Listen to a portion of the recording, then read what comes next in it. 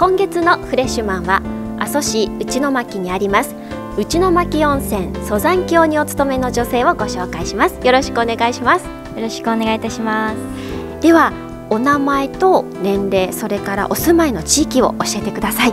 はい。私はパク・エンビと申します。25歳でございます、えー、中国の出身でございますが今阿蘇内巻温泉蘇山峡で働いて住んでいます、えー、パクさんは、はい中国出身ということですが、まあ、どんなきっかけでこちら蘇山峡に勤めることになったんですか？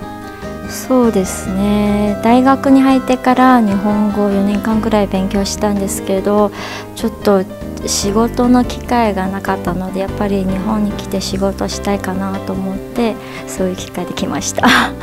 もうお勤めになってどれぐらいが経つんですか？えー、だいたい半年ぐらいですねえー、ではパクさんの普段のお仕事は、ね、今日は和装のとても素敵なお姿ですが普段はどんなお仕事をされているんですか？うん、フロントの業務ですけど私の重要性というとやっぱり通訳かなと思っています。特に外人が来る時通訳の仕事やっています。あのパクさんのプロフィールを拝見すると4つの言語が話すことができるということでその言語4つ教えてもらってもいいですか？はい、えー、まず中国人なので中国語と、えー、中国人ですけど朝鮮族なので韓国語も喋られます。あと小学校に入ってから英語も勉強しましたので英語と日本語が話せます。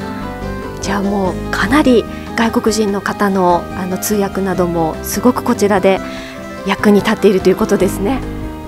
頑張ってます あのいろいろと、ね、あのふるさとを離れて遠い国でのお仕事大変かと思いますがあのお仕事のやりがいとか嬉しいこととか何かありますか？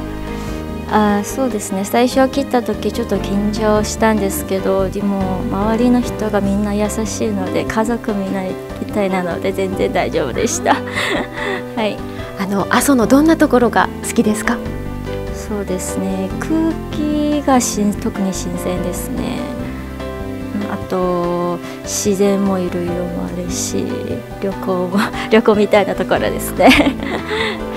じゃあちょっとプライベートなこともお聞きしますが25歳ということで、まあ、結婚願望とかはどうなんでしょう？まだ彼氏がいないです。ですか。こんなに素敵な方なのに。あのじゃあどんな方がタイプですか？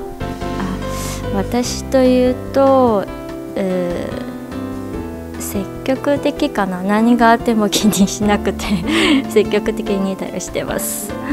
じゃあそんな人と、まあ、明日をデートするならどこかお気に入りの場所はありますか？うん大観望かな。雲海一回見に行きましたのでとても綺麗だと思います。ありがとうございます、えー、では最後にカメラに向かってお勤めの蘇山峡の PR をお願いします蘇山峡の温泉がいいです。スタッフのみんなが優しいでぜひお越してくださいませ。お待ちしております。ありがとうございました、えー、今月のフレッシュマンは、えー、内巻温泉蘇山峡にお勤めの中国ご出身パクさんをご紹介しました。ありがとうございました。じゃあ最後にフレッシュマンでいいですか？